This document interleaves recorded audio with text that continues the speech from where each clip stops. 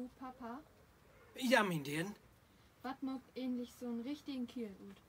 Oh, so einen richtigen Kiel, also so einen richtigen Kiel, die, die beschützt seine Familie, die sorgt dafür, dass da Geld reinkommt.